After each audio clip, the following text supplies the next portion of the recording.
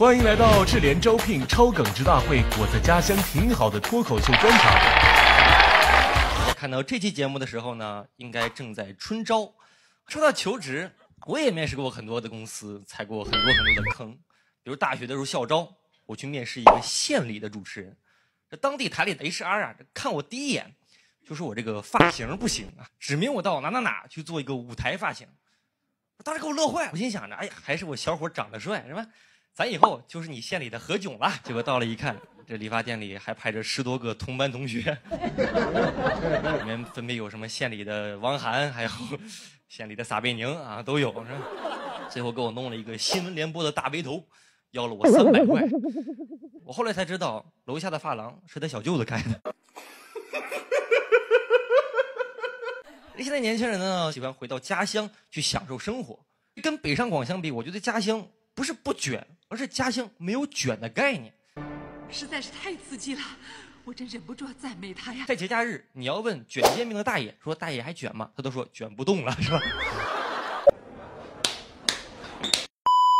所以这次春招呢，智联招聘也为大家的回乡享福做了很多很多的准备，在线发放高薪职位，一天一场，看直播与家乡好工作双向奔赴，和我一起为家乡代言，找靠谱工作上智联招聘。我马上就要请今天的第一位开场演员啊！大家都知道，第一位开场演员是压力非常大的啊，毕竟要带入到这个讲段子当中的角色，所以希望呢大家用最热烈的掌声来鼓励他，好不好？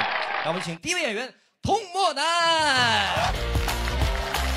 超级开心来到智联招聘，叫超耿直大会啊！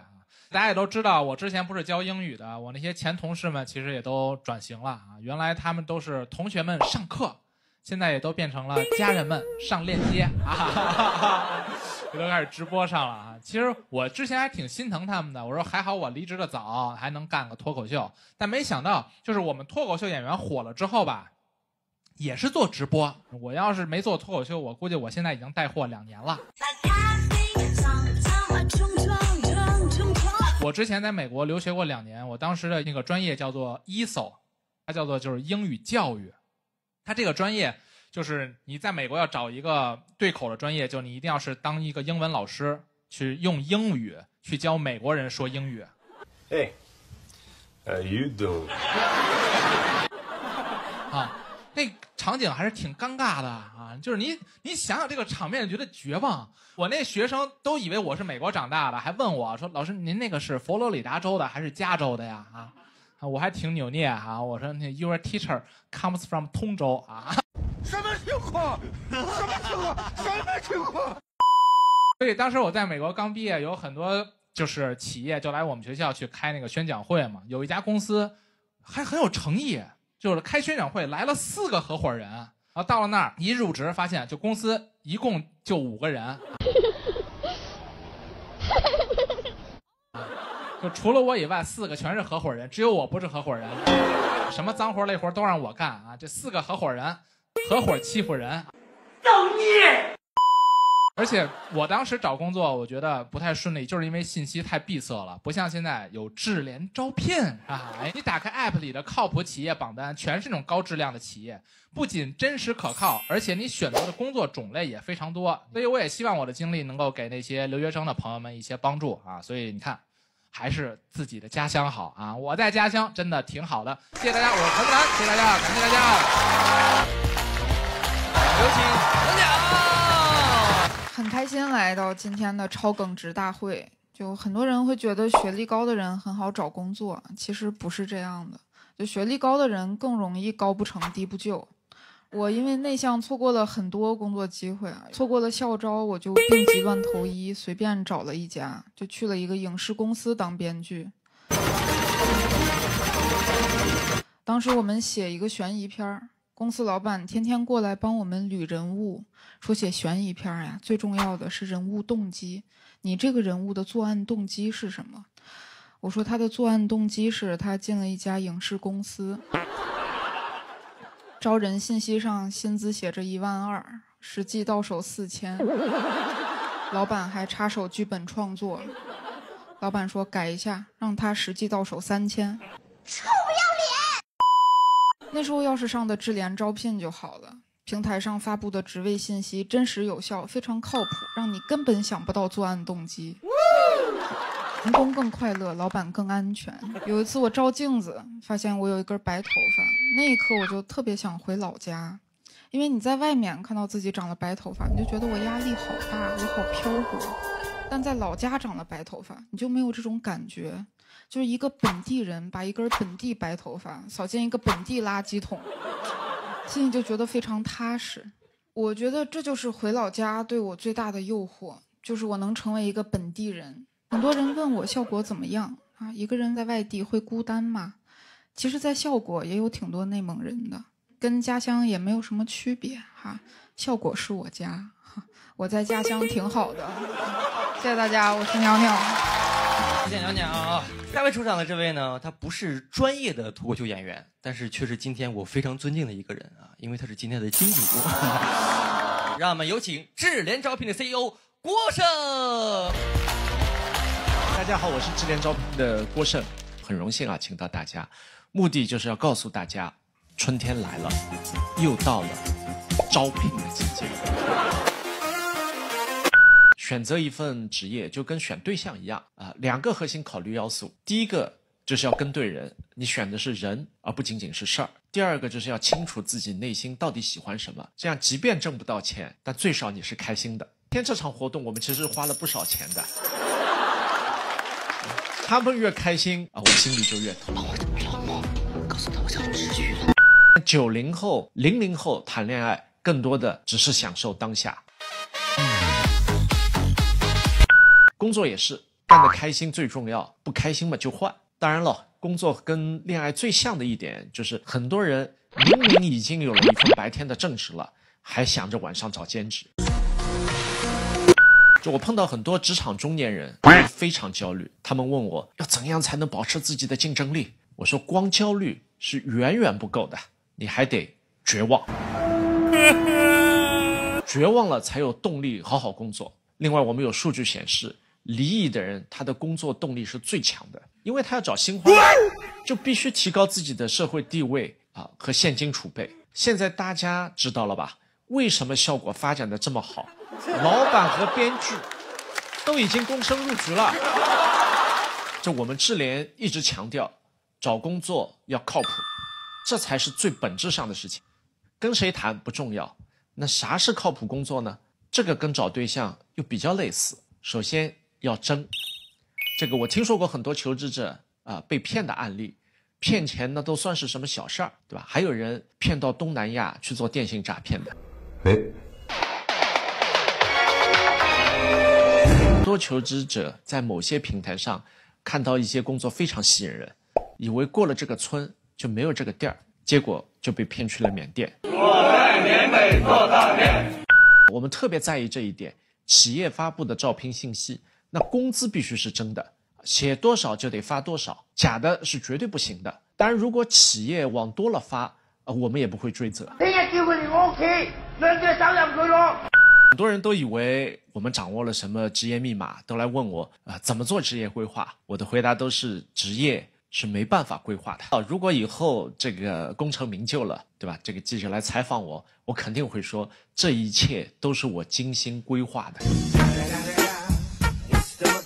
智联上还有全国的各类城市在招人，就业环境都非常好。很多干自媒体的年轻人啊，在我们平台上找到了鹤岗的工作，挣着一线城市三万块钱的工资，住着总价三万块钱一套的房子，幸福感非常高。不一定都非得住在一线城市，都非得往一线城市跑。所以呢，才有今天这个副主题。我在家乡挺好的。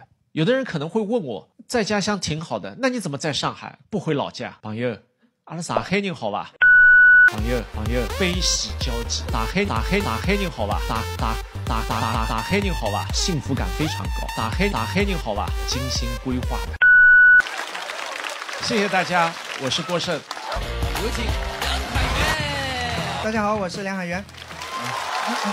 大家找工作都想找最理想的工作，都希望找一个钱多事少、离家近的。我刚毕业的时候，我就发现要同时满足这三个条件实在太难了，所以最后。我只好妥协了，找了一个钱最多的。找过工作的人都知道，很多公司为了掩饰钱少，会给我们画饼，对吧？我们虽然工资不高，但是可以学到很多东西。我到您这儿打工，我不为赚钱，我为的是学习着开酒楼的经验。这话说的，好像工资高的公司就学不到东西一样，对吧？我从来没有听过一家公司说我们工资很高，但学不到东西。有的公司为了不强调他的工作时长，然后会说我们是弹性工作制，对吧？这个弹性只会往八小时以外弹。对，把你的业余时间弹得越来越少，把你的人弹得越来越老，弹弹弹弹出鱼尾纹。钱多事少离家近这三项啊，其实最可控的就是离家近，因为你可以回家乡找工作嘛，对吧？大学生毕业找工作呢，特别容易踩坑，我们都要小心防范，需要一些真实的评价去帮你辨别这些信息。好在智联招聘聚合高质量企业，提供靠谱企业榜单。这个有多靠谱呢？跟你们说，效果这么优秀的企业，都没有上过智联的热门榜。我操，啊，虽然我在上海现在发展的还行，但我其实也还挺想念我家乡的，因为我待在上海只是一个普通的脱口秀演员，但如果我回广西的话，我就会成为普通话最好的脱口秀巨星。谢谢大家，我是梁海源。下一位演员呢？让我们有请徐志胜。大家好，大家好，我是志胜。大家好，我是志胜啊，然后很开心来到咱们智联招聘超耿直大会啊。今年确实在家乡挺好的，脱口秀大会就在我老家山东录的嘛。刚开始去啊，大家都说我们山东演员有主场优势，心里都很不服气。我就问你们这有啥不服的？他们说我们啥都不服，我们就连水土都不服。今年我就靠着老乡的热情，比赛拿了第八。去年没有老乡的热情，拿了第四。哎呀，真的，我在老家的朋友还经常说啊，说真羡慕你在大城市的生活啊，说我们在老家生活太稳定了，每天下班都不知道干啥。我说你来了大城市，你确实知道下班干啥，但是你每天都不知道啥时候下班呀。啊真的，就你下班的时候，你想去的地方都下班了，最后你下班就只想回老家。真的，我一个朋友还告诉我说说志胜很羡慕你们大城市可以挤地铁，我一开始以为他是在讽刺我，后来知道他是真心羡慕，因为我们老家没有地铁。我说确实啊，这个挤地铁太刺激了，但你知道挤不上地铁更刺激。刺激！就你很难想象，你在大城市拼尽全力，不顾形象，连拉带拽的，只是为了和别人竞选一个谁可以按时上班的机会。但是在老家找工作确实挺难的，不过还好有智联招聘管我。还有谁？都是真职位、好企业。我兄弟有人，我有智联招聘，我感觉我更靠谱啊。Nice。我最近还发现啊，我有的朋友通过云办公的方式，即使生活在老家，也能有大城市的工作机会。但朋友其实也是会担心，毕竟异地嘛，每天都是在线上联系，没办法见面，会不会时间久了，老板觉得他对这份工作没有感情了，选择和他结束这段劳动关系？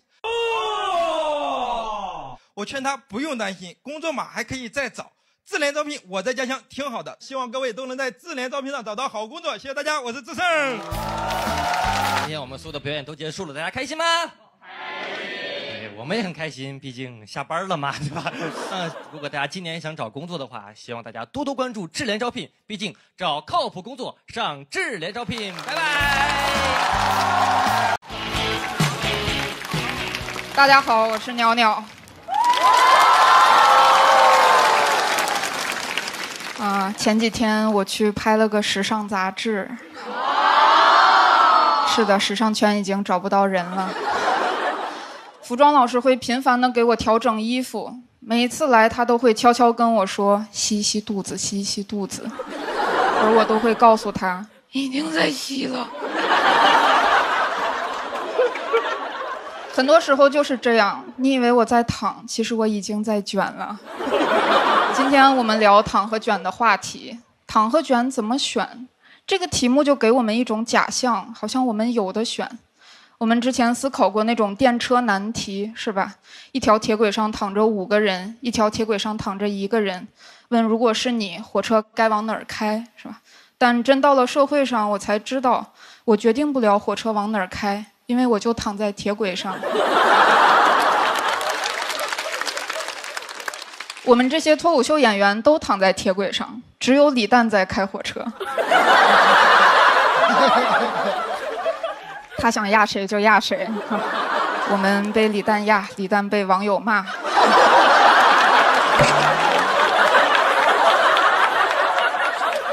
我很少思考怎么选的问题，因为我知道每个人的选择范围都是有限的。小时候，妈妈领着我进小卖铺，问：“宝贝儿，你想吃薯片还是辣条呀？”我指着老板背后说：“妈妈，我想要那个电视。”我妈说：“我是不是又给你脸了？”这也让我想起我学二胡的过程。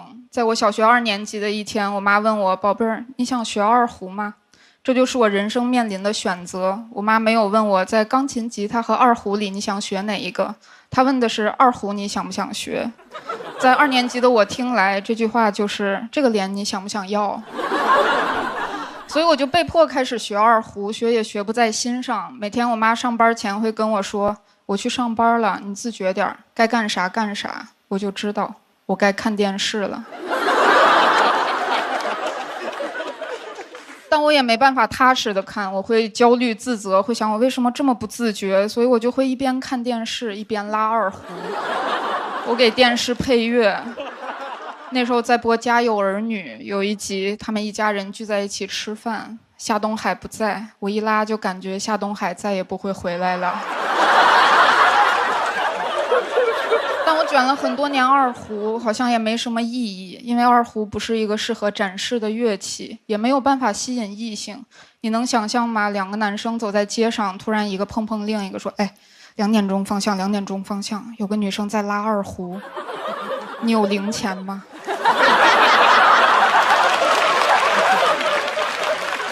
除了拉二胡，我也卷学习，拉二胡和做题，这就是儿时的我能为人生所做的全部准备。所以现在我的思维很简单，就是遇到困难就想刷题，包括参加脱口秀大会，我也总想。如果有一套真题刷一刷就好了，最好有一本五年大会三年模拟。每次主题赛宣布主题，我听到的仿佛都是字数八百，文体不限，诗歌除外，不要退赛。有时候还有附加题，是吧？已知云南白药口腔修护含漱液搭配活性炭牙膏，帮助修复口腔黏膜损伤。问。如何将以上信息巧妙地融入段子？这道题我已经答完了。有的时候如果不会做呢，把题干抄下来也能得分儿。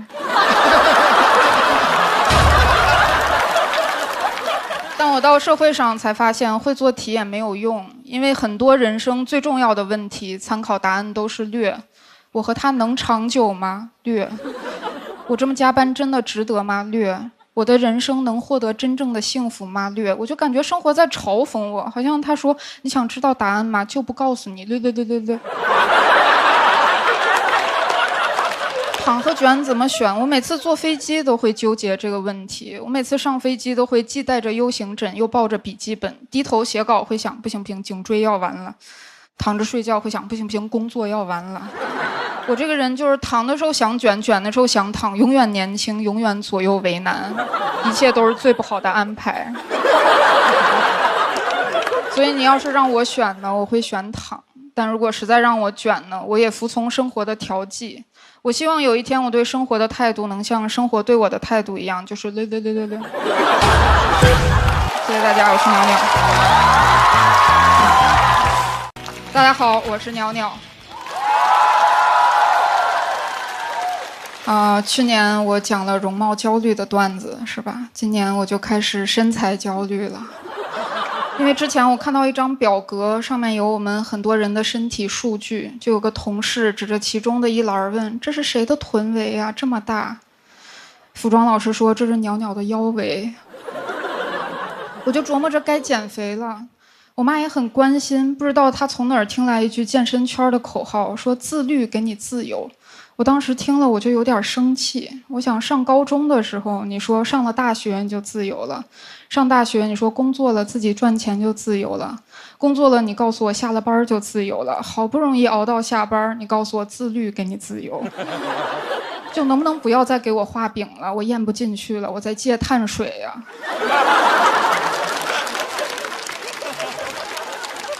我说我一个搞脱口秀的，我不靠脸吃饭是吧？我平时的工作就是搞创作。我妈说创作怎么了？很多作家也都在健身呀。你看人家海明威是吧？茨威格。我说妈妈，你是真的会举例子，死的比这俩惨的作家都不多呀。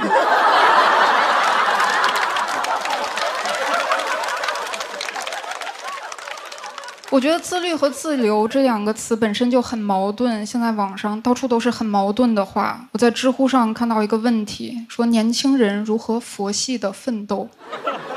我想你都要奋斗了，还要佛系，这也太矛盾了。怎么奋斗啊？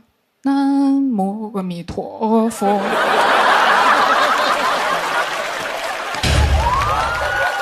我觉得“自律给你自由”这句话，它真正想表达的是好身材能吸引异性，健身有助于求偶。所以想到这里，我就去健身房了。我是为了去吸呃，我去积累素材。我早就知道健身房是当代著名的消费陷阱。果然一进去，就有一个教练要给我卖课。他说：“你的体态有问题。”我说：“对，我圆肩驼背，骨盆前倾。”还有膝超伸的问题，整个人看起来没有自信，再不健身就完了。教练说：“啊，你也学过 PUA 呀、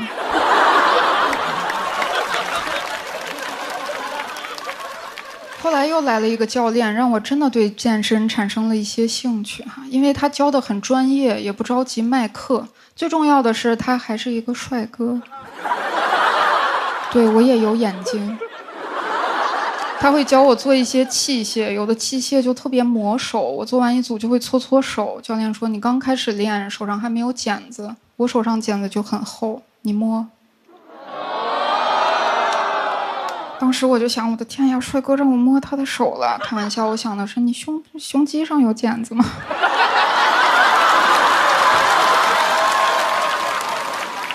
然后就摸了嘛，就买了一万块钱的课。有的时候你明知那是消费陷阱，但是当陷阱里站着一个帅哥的时候，你只会感到喜悦，你只会想太好了，天上掉陷阱了。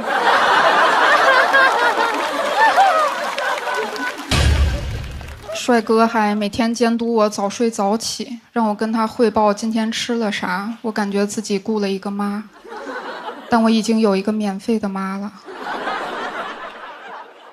健身实在是太辛苦了，每顿饭都要计算热量，一定要特别标准化的饲养自己，力求把自己的肉质养得特别柴。而且经过我仔细观察呢，我觉得健身房啊，可能是一个物理老师发明的，我就从来没有在一个地方见过这么多定滑轮儿。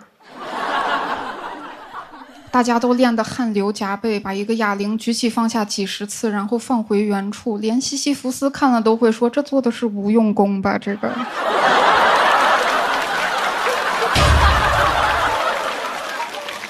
最怕的是你刚努力了两个月，好不容易有点成效，结果遇到一个好久不见的老朋友，见你第一句话就是：“你是不是胖了？”所以现在我就放弃了，我觉得一切都没有意义，再帅的教练都无法激励我了。我一想去见他，还要戒糖、戒油、戒碳水，我就觉得算了，我还是戒色吧。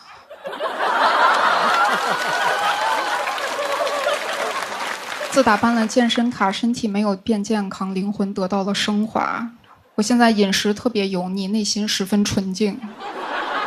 我也理解了自律给你自由的真正含义，就是只要我自律的不去想胸肌，我就可以自由的吃炸鸡。谢谢大家，我是鸟鸟。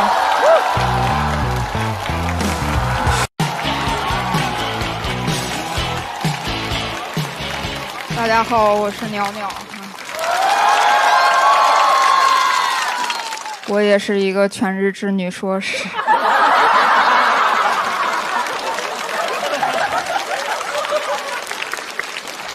我之前一个人在上海居家了两个月，怎么说呢？我现在特别热爱社交，因为一个人居家真的非常难熬。我之前完全不会做饭，有人问我说：“你一个女孩子，难道之前没玩过厨房玩具，没玩过过家家吗？”我也玩过家家哈，但因为我从小就话少又懒得动呢，我都是演爸爸。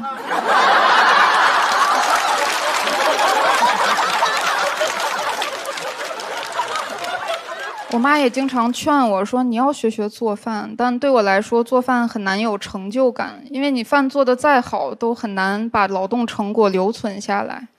我妈说：“但几年前还出土了几个魏晋南北朝的饺子。”我说：“那你有没有想过，如果它好吃的话呢？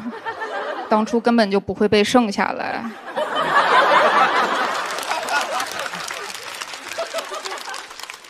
总之，我平时都是点外卖，真到自己做的时候才知道和别人差距有多大。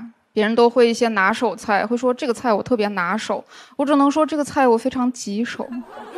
除此之外，我还会一些烫手菜和切手菜。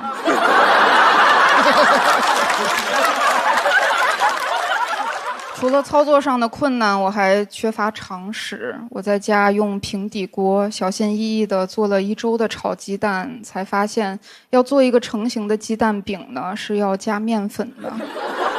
我知道了这个诀窍，又把饼做得太厚。那天我打开一个五分钟快手菜视频，然后在厨房里忙活了两个小时，最后做的那个鸡蛋饼外焦里生。外面已经焦黑了，切开里面还会流汤，外有致癌物质，内含沙门氏菌。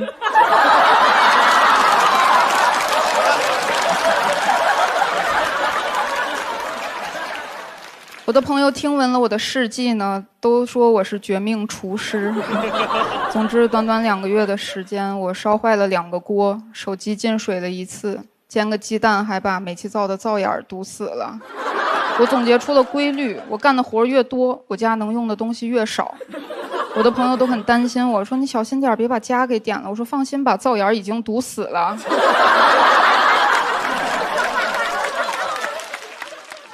最让人挫败的是，经历了这种种的困难呢，我做的饭仍然非常难吃。每天我做饭两小时，吃饭十分钟，洗锅一小时。谁能想到，这其中最煎熬的，竟然是中间的那十分钟。厨房在文艺作品里是世俗和平庸的象征，但我们都误会了。厨房是个非常危险的地方，厨房里有刀、有火、有油锅。你们知道哪里还有这个配置吗？地狱。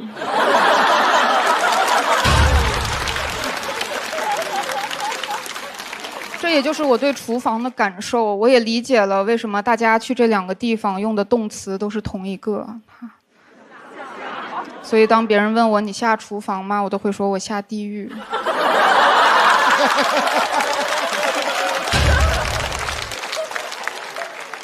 我每天要下三次地狱，我一个人住嘛，我不下地狱谁下地狱？我才做了几天饭就崩溃了，我又一想，妈妈做了二十多年的饭。我心里现在想起来就会觉得很崇敬。有人问我说：“那你现在一定很想吃到妈妈做的饭吧？”那倒也没有，我妈做的饭也不好吃。我在上海还要给我爸点外卖呢。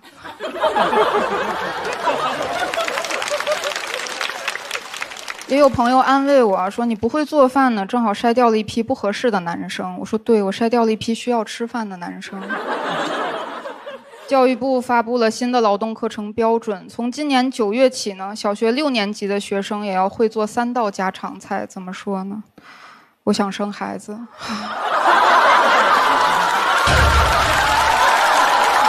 哎，站好，很好。你们也知道我们的比赛压力很大，所以我昨天请了几个演员朋友哈去我家吃饭，时间应该也差不多了。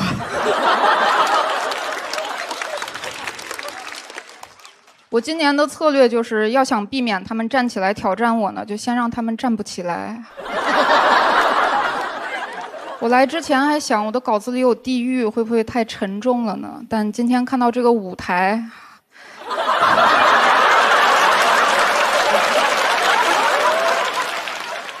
所以我现在心态非常的平稳啊。只有我，我只有两条路啊：晋级上天堂，淘汰下厨房。上天堂。谢谢大家，我是娘娘。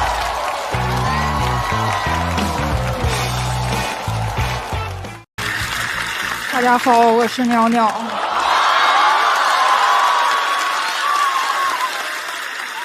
我在脱口秀大会上讲了一些内向的段子，现在还有点出名了哈，所以我现在是出了名的内向，以至于别人看到我参加聚餐都会跟我说：“你竟然来了。”我说：“是啊，不是你邀请我的吗？”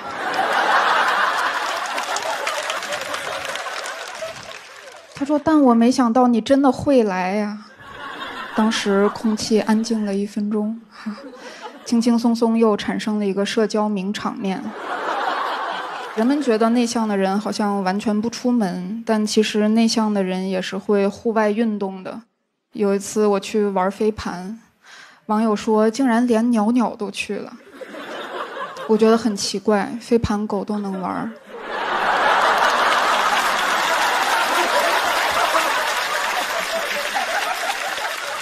我为什么不能玩呢？当然，人们可能宁可和狗玩，因为虽然狗也不说话，但它们看起来比较外向。这里也没有说外向的人都是狗的意思。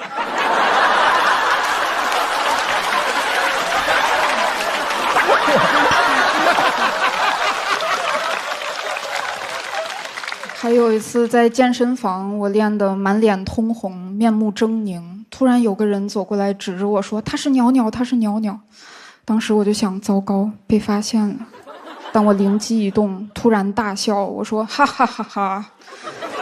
没错，我就是鸟鸟。”那个人说：“对不起，是我认错了。”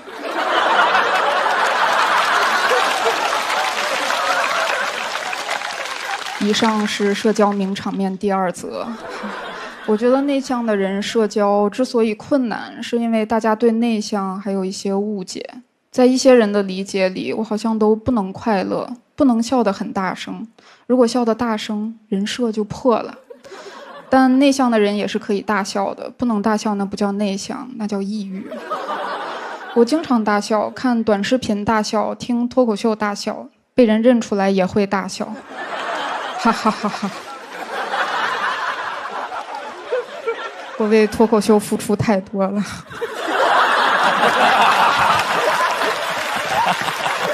很生气。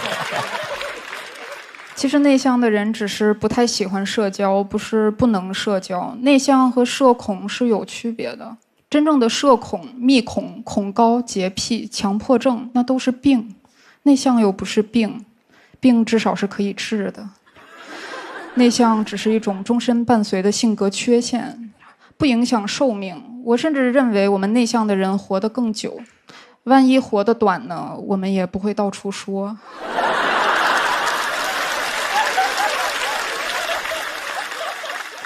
有人问我说：“你希望别人怎么对待你们呀？”我说：“你把我当正常人就行了。”有时候外向的人和我说话也会有点小心翼翼，我心里就有点生气。说好的外向呢？怎么遇到内向的人就不会说话了？我内向还是你内向啊？托不花托总在书里写啊，他小时候也很内向，但后来他明白，和人沟通不是说话越多越好，关键在于是否让对方觉得你在倾听他。技巧高超的人，即使一直说嗯，也能完成一场社交。原来这就是内向者的技巧，我以为这是内向者的症状呢。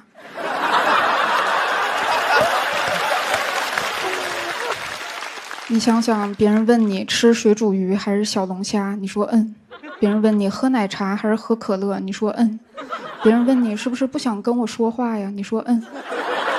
你是完成了一场社交，你也没有第二场社交了。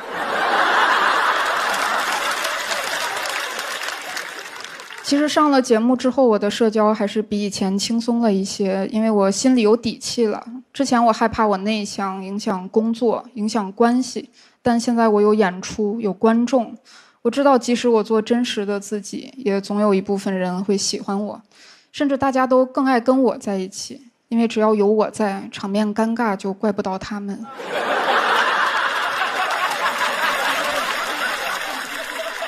最后我想说，虽然我话少内向，会突然哈哈大笑，但我是个正常人。谢谢大家，我是正常的鸟鸟。大家好，我是鸟鸟。我是个内蒙人，我的老乡李诞、Rock 和杨蒙恩都在讲脱口秀，所以我想我可能也可以。你们可能看得出来，我的性格特别的活泼。我从小就这样，爸妈为了改变我，让我学了音乐，我学的是二胡，世界上最欢快的一门乐器。小时候大家学的都很高端，钢琴、单簧管、小提琴，只有我拉二胡。很多小朋友嘲笑我，除了我最好的朋友，学的是唢呐。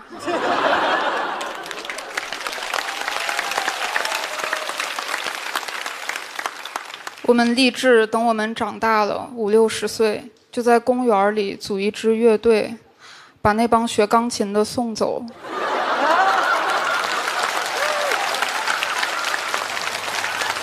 这个劲儿太独特了，感觉他没有情绪，然后像一个 Siri 一样在念。我这个性格没有办法演奏特别欢快的曲子，你们可能都听过一首曲子叫《赛马》，别人拉赛马就让你觉得那些马都活力四射、热爱比赛，我拉赛马就让人觉得那些马 比什么赛呢？每匹马都是要死的。由于我性格比较内向，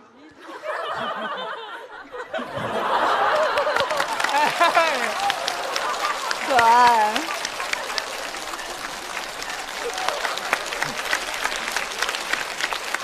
由于我性格比较内向，所以我常常没有什么存在感。刚才在卫生间，我把手伸到水龙头下面，都没有手都没有水流出来。这是什么破包？我就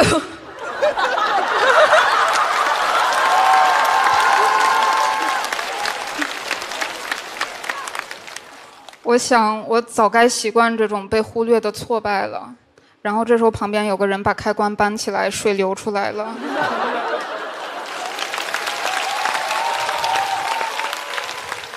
我也不喜欢和人打招呼，因为总要说一些没用的话。来了，吃了吗？天气不错哈。谁会真的关心这些呢？什么时候我才能问一些我真正在乎的问题？比如，杨澜老师你好，我有可能得到您的拍灯吗？哇！Oh my god！啊！可能有点危险，我感觉，可能会被这种怪物打走。都是脱口秀，学学学学，学习一下哇！啊，我这样的人也很难谈恋爱，因为我很难判断对方是不是喜欢我。书上说，如果对方对你有好感，他看你的时候瞳孔就会变大，但是我没有办法毫无理由的看别人的眼睛。我就上网查询了验光师资格证的报考条件，到时候就来测个瞳距。大夫，我多少度？不重要，你不爱我。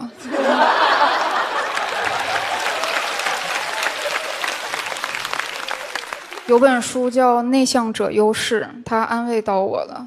但是没有一本书叫《外向者优势》，我就安慰我外向的朋友，我说：“其实你们也有优势了。”他说：“我知道呀，我们的优势就是活得非常快乐，不需要看一本书来安慰自己。”我说：“你知道，快乐的人也是要死的。”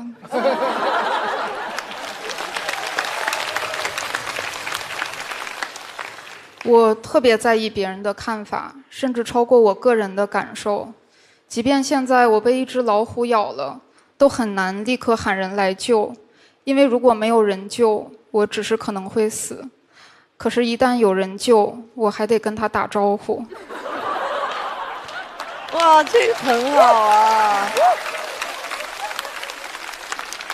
这时候，如果武松从我面前走过，我都会想，我应该叫他吴老师，还是叫他松哥？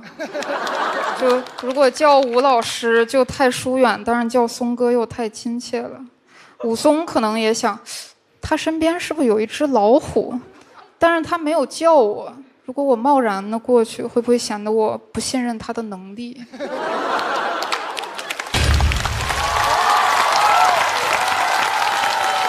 川哥有点危险，川哥相当危险，非常危险，对。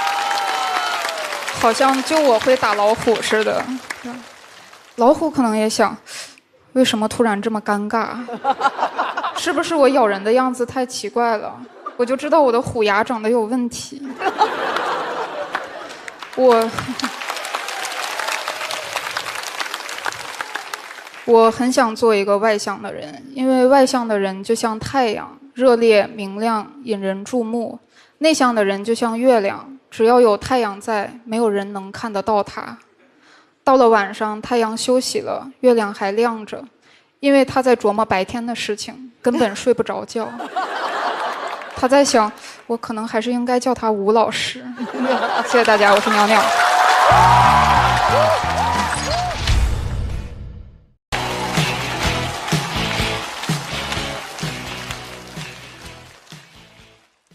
大家好，我是鸟鸟。大家有没有听过一个词叫体相障碍？体相障碍是一种认知障碍，通俗的说就是一个人其实不丑，但是他觉得自己长得丑。我想去医院看一下，我有没有这个毛病，又怕医生说我没有。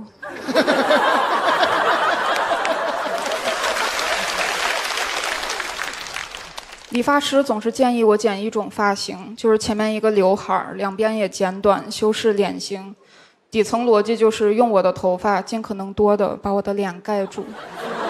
我觉得他还可以再激进一点，给我剪成贞子。我觉得贞子可能也只是一个自卑的女生，就这么打扮是她的一种防御手段，用来安慰自己。别人见到我就跑，肯定不是因为我的长相，只是因为我的穿搭风格。从小就知道我长得挺普通的，因为我妈天天跟我说：“女儿啊，你得好好学习，女人不能要一头没一头。”我后来就只好考上了北大。我是考研进去的，复习期间我怕考不上丢人，就不敢告诉别人我考的是北大，我就只能说我考的是清华。但上北大也并没有改善我的处境，做一个长相普通的女生仍然非常难。就是你好像做什么都不对，你不打扮吧，人家说没有丑女人，只有懒女人。在这句话出现之前，我只是一个单纯的丑女人。你要做什么坏事儿，人家就说真是相由心生。你要与人为善吧，就会夸你真是人不可貌相。我要说我觉得自己挺好看的，那你得有点自知之明。我要说我觉得自己不好看，那你得接纳自己。还有大家平时晒的图片也都太好看了，什么时候能晒一些既彰显个性又不涉及美丑的东西？比如指纹。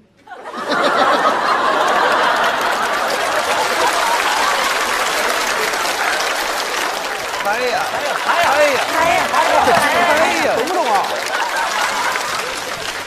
因为容貌上的自卑，我放弃了很多事情。不要去面试，肯定选不上；不要联系他，肯定没结果；不要抢银行，会被监控拍到。我又不上镜。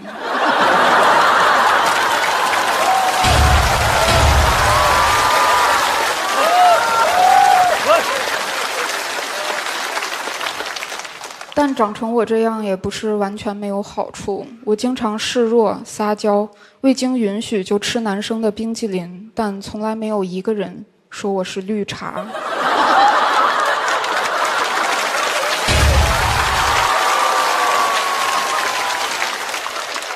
他就是馋了。上次我去美妆店，店员推荐护手霜，他说：“你知道吗？手真的很重要，手是女人的第二张脸。”我说谁能先救救我的第一张脸？他说女人不能要一头没一头。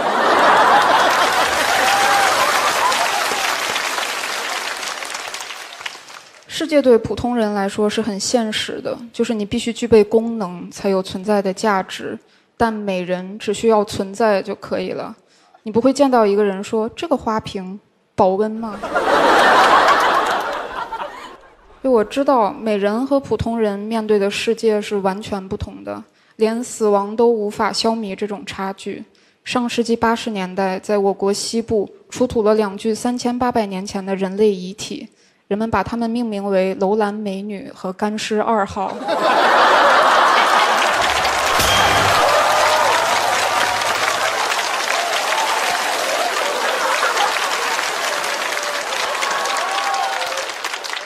这事儿其实是我编的，但你们是不是觉得特别合理？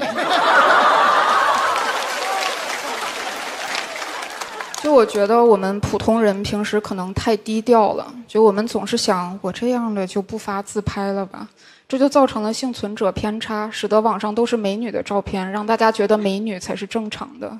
我觉得我们也应该多在朋友圈发一些原始的自拍，让美女无地自容。我相信，只要我们团结起来，勇于展示自己，总有一天人们都会关闭朋友圈的。谢谢大家，我是鸟鸟。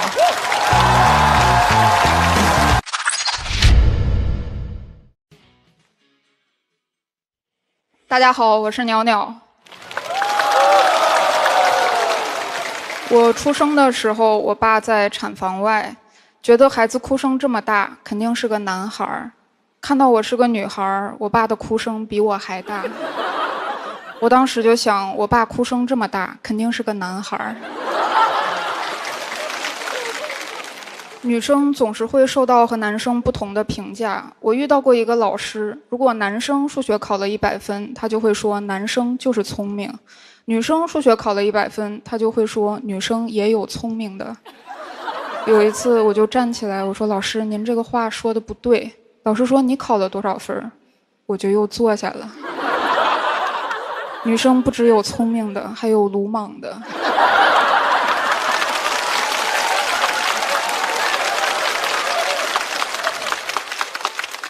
好像大家对男生就比较宽容，不管一个男生学习多差，都有人说：“男孩嘛，有后劲儿，上了初中就好了；男孩有后劲儿，文理分科就好了。”连我奶奶都说：“你爷爷有后劲儿，坟头草老高了。”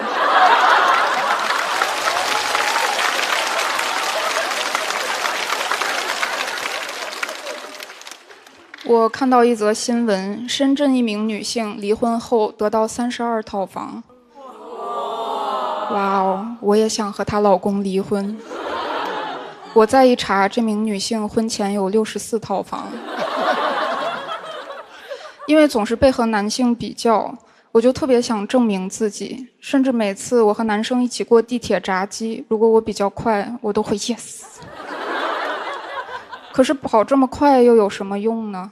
到最后，别人眼里我最伟大的成就还是成为一个妈妈。当妈妈太难了，因为可能会养出一个妈宝。妈宝呢，有男有女，在这里为了方便，我们就姑且称他为妈宝男吧。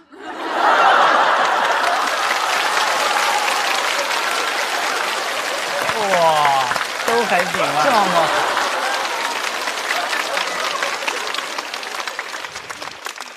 妈宝男这个群体非常奇怪，就他明明没有犯法，但你总想制裁他。一个成年人总是把妈妈挂在嘴边，你说他是怎么被教育出来的？是不是他妈妈天天对他说：“孩子，以后在外面提我好使。”那我们应该怎么鉴别妈宝男呢？我觉得你就可以直接问：“你是妈宝男吗？”我不是。你为啥不是？我妈说我不是。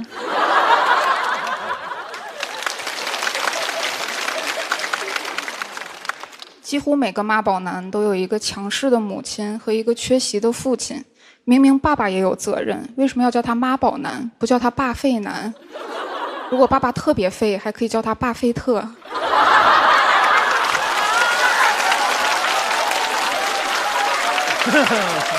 鼓励一下。而且，即便妈妈当得好，又能怎么样呢？能把孩子当成自己的作品吗？每次我妈跟我说“你就是我最好的作品”，我都说“妈，你这就有点物化女性了”。我希望在未来，妈妈这个职业可以有更为科学的晋升机制。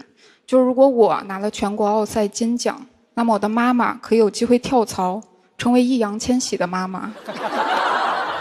易烊千玺拿了表演类的奖项，那么易烊千玺的妈妈可以得到晋升，成为易烊千玺的爸爸，实现真正的自由。谢谢大家，我是鸟鸟。